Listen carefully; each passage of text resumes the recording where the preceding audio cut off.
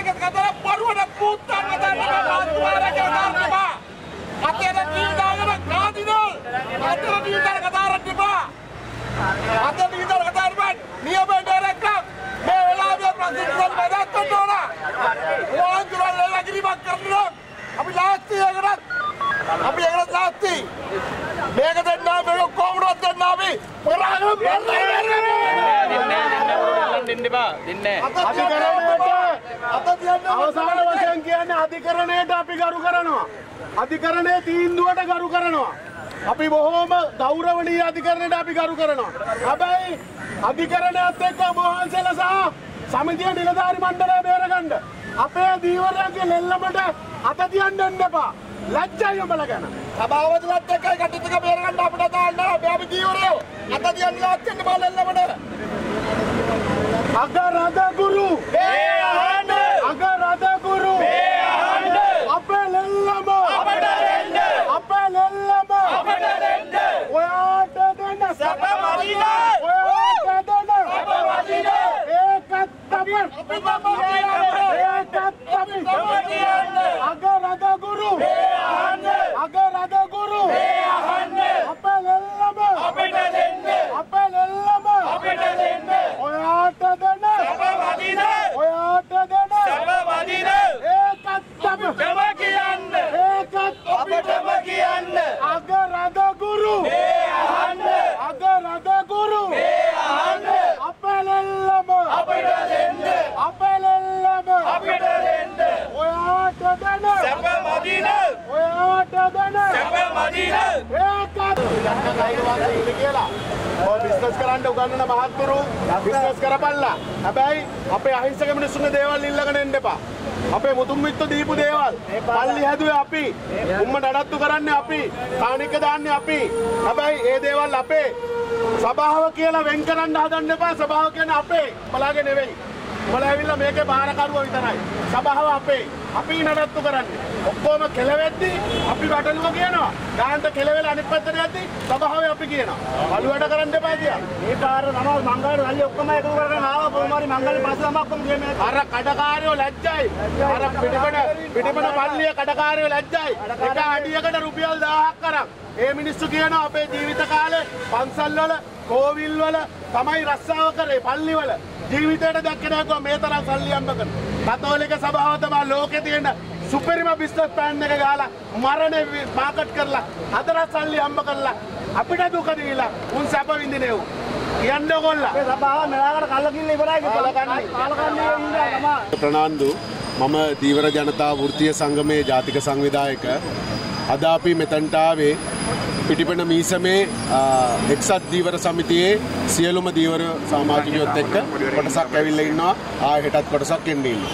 අද අපි මෙතනට එන්න මුල්ම හේතුව තමයි මේ අපේ දීවරයෝ අවුරුදු 65ක් තිස්සේ භුක්ති විඳ එයාලා මාළු විකුණන ලෙල්ලම අද වෙනකොට අතුරු තහනම් නියෝගයක් ආදිනල් වහන්සේ අතුරු තහනම් නියෝගයක් අරගෙන ලෙල්ලම බාරගන්න යනවා.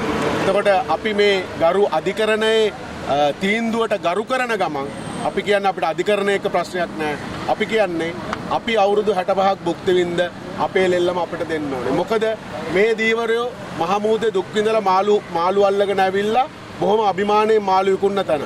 ඒතර මේ විකුණන මේ මේ මාළු විකුණන දීවරයෝ ඒ විකුල්ල තමයි අපේ පල්ලිය නඩත්තු කරන්නේ. උදාහරණයක් අපිට තියෙනවා පිටිපන විශාල පල්ලියක්.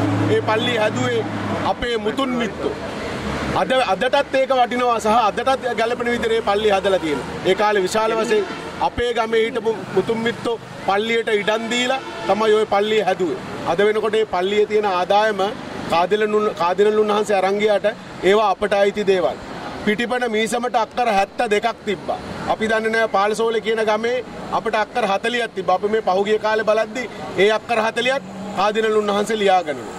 එතකොට ඒ නිසා අපි කියන්නේ අපි කාටවත් කරදරයක් නැති මිනිස්සු අපි අපේ පාඩුවේ දීවර රැකියාව කරගෙන අපේ දෙවියන් වහන්සේට අපි ගෞරව කරගෙන වත් පිළිවෙත් කරගෙන බොහෝම ගෞරවෙන් සහ ආගමික ගෞරවෙන් ඉන්න කොටසක්. හරි? කතෝලිකෝ කියන්නේ මේ කාලේ චතාරික කාලේ ඉතාම දුක්විඳින කාලයක්. ජේසු වහන්සේගේ දුක්ප්‍රාත්තිය මෙනෙහි කරන කාලය. හැබැයි මේ ඉතාම අපි දුක්බරව ඉන්න කාලේ අපිට තවත් පට්ට දුකක් දුන්නා. කාදිනලුන් වහන්සේ අපේ ලෙල්ලම ගත්තා. හැබැයි අද වෙනකොට අපි අපේ අපේ දරුවන්ට අනාගතයක් නෑ. පල්ලියාවට ඉන්න මිනිස්සුන්ට කිසි දෙයක් වෙලාන. පල්ලියෙන් කිසියම් දෙයක් වෙලාන. රටේ විවිධ කාලවල්වල ආව විවිධ අ, අ, ව්‍යසනයන් ඒ ඒ කිසිදු ව්‍යසනයකට මේ කතෝලික සභාව අපිට උදව් කරේ නෑ. හැබැයි කතෝලික සභාව දැන් කියන්නේ සභාව ඒගොල්ලන්ගේ. සභාව කොහොම දේගොල්ලන්ගේ වෙන්නේ සභාව නඩත්තු වෙන්නේ මේ දීවර සහ කතෝලිකයෝ නිසා. එයාලා දේපල වෙන් කර ගැනීමේදී එයාල වෙන් කරගන්න අපි සභාව ඔයාලා බැතිමත්තු කියලා. දැන් ඔය ලෙල්ලම ගත්තේ ඔය පිටිපන ලෙල්ලම ගත්තේ හිටපු මුතුන් මිත්ත සහ වර්තමාන ඉන්න නිලධාරි මණ්ඩලය සහ අ, දීවරයෝ මාර ෆයිට් එකක් දීලා මොකද ඒ ලෙල්ලමට අවටගම් හතේම මිනිස්සු ෆයිට් කරා. ඒකේ චණ්ඩි හිටියා. ඒ දවස්වල අපිට මාළු විකුණන්න බෑ. කනට ගහලා එලවනවා. අපේ දරුවෙකුට ගෑණියෙකුට පාරේ යන්න බෑ. එහෙන් අල්ලනවා මෙහෙන් අල්ලන අඩන් තේට්ටම් කරනවා. ඒ සියලුම ප්‍රශ්න විසඳගත්තා මේ පිටිපට මීසම එක්සත් දීවර සමිතිය. ලේසි නෑ හැප්පෙන්න. ඒ හිටපු දීවරයෝ, ඒ නිලධාරි මණ්ඩලය ඒගොල්ලන් හැප්පිලා තමා මේක බේරගත්තේ. එතකොට ඒ කාලේ ඒ අනිත් මිනිස්සුත් එක්ක අපේ හතුරොත් එක්ක හැප්පෙද්දි අපි පල්ලියට ගිහිල්ලා කිව්වම කියන පල්ලිය කියන නෑ ඕක අපිට අපේ ප්‍රශ්නයක් නෙමෙයි ඕක ඕගොල්ලන් බේරගන්න කියලා. හැබැයි අපි ප්‍රශ්නේ විසඳලා දීවරයන්ට යම් යම් සහනාධාර සහ වැඩපිළිවෙලක් හදාගෙන යද්දී අන්න දැන් පල්ලිය මැදට පැනලා ඒගොල්ලන්ගේ කියලා ඒගොල්ලන් ගන්න හදනවා. මම කියන්නේ පල්ලියක් දෙන්න අපිට. පල්ලිය සහ පල්ලිය ආදායමත් දෙන්න අපිට. අපි කරනවා මීට වැඩිය. මේ වෙනකොට මේ එක්සත් දීවර සමිතියේ පිටිපන මීසම එක්සත් දීවර සමිතිය සාමාජිකයන්ට හාල් කිලෝ ලක්ෂ දෙකක් බෙදලා තියෙනවා. දීවරයෙක් මූදෙ මරුණාම රුපියල් ලක්ෂයක වන්දියක් ගෙවනවා. ආ, දීවරයෙක් නොවන කෙනෙක් මරුණොත් රුපියල් 50000ක් ගෙවනවා. හાર્ට් ඇටැක් එකකට 50000ක් ගෙවනවා. එන්ජින් එකක් කඩනොත් බෝනාරි ප්‍රශ්නයක් වුණොත් ඒවට යන්න වියදම් දෙනවා. සහනාධාර දෙනවා. දරුවන්ට අධ්‍යාපන අ, පහසුකම් දෙනවා. ඉස්කෝල පිටිපන ස්කෝල පිටිපන ස්කෝල කියන්න ඇත්තරම පල්ලියයි පිටිපන ස්කෝල අතර තියෙන්නේ බඹ පහක තුරා. ඉතාම ලැජ්ජයි කියන්න අපේ පිටිපන ස්කෝලේ අධ්‍යාපනය බින්දුවයි හේතුව ඒකට එන්නේ වැඩි හරියක්ම ට්‍රාන්ස ඒකැන්නේ මේ මේ පන මේ මනාද දඩුවම් මාරුවලට එන ගුරුවරු හැබැයි අ- පල්ලිය කිසිම සද්‍යයන්න පල්ලිය කිසිීම දෙයක් කරන්න ඒගොල්ලන් කටවාගෙන ඉන්න. මොකද ඒගොල්ලන්ට උවමනා නෑ මේ වෙලාවේ පල්ලිය කැමති සභාව කැමති මිනිස්සු දුක්විනිනවට මිනිසුන්ට කරදරනවට ඇයිඒ මිනිස්සු කරදර වෙච්ච හැටිය යන්නේ දෙයනේ කියාගෙන එතකොට ගිහාම තමයි ඒ කැටේට සල්ලි වැටෙන්නේ. අපි ආනවා ඒ සල්ලිවලට මොකද වෙන්නේ. අපි ආනවා කෝ ඒ ගන්න දේවල් වලින් අපිට මොනවද කරන්නේ. අපි ඊට පස්සේ නුවන්ට සල්ලි දෙන්න ඕනේ. මරුණහම ගෙවන්න ඕනේ. කසාද බඳිද්දි දෙවන්න ඕනේ. පල්ලිය නුවානවලට මංගල්ලවලට ගෙවන්න ඕනේ. පල්ලි හදන්න ඕනේ. පවුල් පොත්වලට වෙනම ගෙවන්න ඕනේ. මෙයාලා හැමදාම අපේ දීවර ජනතාවගේ සල්ලි ටික අරගෙන ගිහිල්ලා එයාලා පාඩුවේ සැප විඳින මම කියන්නේ කමක් නැහැ. අපි අපේ දෙවියන් වහන්සේට දෙ- සියලු දේවල් කරලා අන්තිමට මේ දීවර ජනතාව කීයක් හරි රුපියලක් හරි දෙකක් හරි මේ පඳුරු දාන මේ කාණික්ක දාන දෙයටත් මේ මිනිස්සු අපේ ලෙල්ලම අරගෙන යනවා. කතෝලික සභාව පෞගිය කාලයම ඉතාම නරක විදිහට දේශපාලනය කරා. විශේෂයෙන් මේ ඉන්න කාදිනල් උන්වහන්සේ හැම මගුලට මත දානවා. දන්න දෙයකුත් නැහැ නොදන්න දෙයකුත් නැහැ. හැම ලබ්බට මත දාලා ප්‍රශ්න ඇති කරනවා. අපේ මිනිස්සු මේ පාස්කු ප්‍රහාරේ මරුණා. අද වෙනතුරු එයාට බැරුව ගියා. අද වෙනතුරු එයාට බැරුව ගියා මැරිච්ච මිනින්ට සාධාරණිෂ්ඨ කරන්න. ඇයි ඒ? එයා තමයි කිව්වේ පව්වදා උදේටම ගිහිල්ලා රටේ ජාතික ආරක්ෂාව මේ ද- හදන්න පුළුවන් කෙනෙකුට ඡන්ද දෙන්න කියලා. එතකොට ජාතික ආරක්ෂාව ගැන කතා කරේ කවුද? මේ රටට කෙලවපු එකෙක් තමයි ගෝඨාභය රාජපක්ෂ කියන්නේ. එයාට කිව්වා ගිහිල්ලා ඡ- ව්‍යංගාර්ථයෙන් කිව්වා ඡන්ද දෙන්න කියලා. හිටපු ආණ්ඩුවට යාපාලන ආණ්ඩුවට කිව්වා බැරි නම් පහල ප- ප- පහල යන්න කියලා. එතකොට එයා මොකද්ද කරන්නේ? එයා පැහැදිලිවම කරන්නේ දේශපාලනය. එයාගේ දේශපාලනය එයා කරාට කමන්නේ නැහැ. හැබැයි අපේ කතෝලික සභාවේ කිසිම විදිහට දේශපාලනය කරපු කෙනෙක් අපි දැකලා නැහැ. ඊටාම නින්දිතයි. මම කියන්නේ දීවර ජනතාවගේ දේ දීවරයන්ට දෙන්න ඕනේ. දැන් මේ කරන්නේ අපිවයි අපේ අනිකුත් ගම්වල ඉන්න සමාජිකයෝයි හප්පලා මරලා ලේවලින් මේ ලෙල්ලම ගන්න තමයි මේ කාදුලුන් වහන්සේ උත්සාහ කරන්නේ. අපි ඒකට ඉඩ දෙන්නේ නැහැ. කිසි ලෙසකින් අපි ඒකට ඉඩ දෙන්නේ. අපි මරාගෙන මැරෙනවා.